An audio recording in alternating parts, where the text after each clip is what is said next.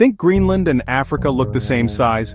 Think again, maps can lie. Most world maps use the Mercator projection, made for sailors back in the 1500s.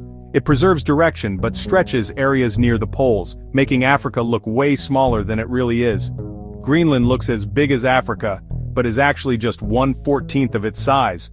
Africa is not just big, it's massive. It's larger than the US, China, India, Japan, and most of Europe, combined.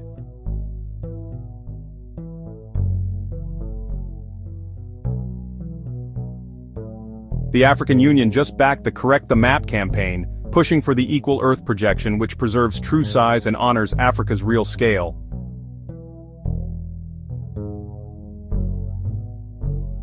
A map is more than art, it shapes our worldview. Distorted maps feed stereotypes and invisibility. Choosing an accurate map helps reclaim visibility and pride. Ready to see the world as it really is? Hit subscribe and get the truth, 60 seconds at a time.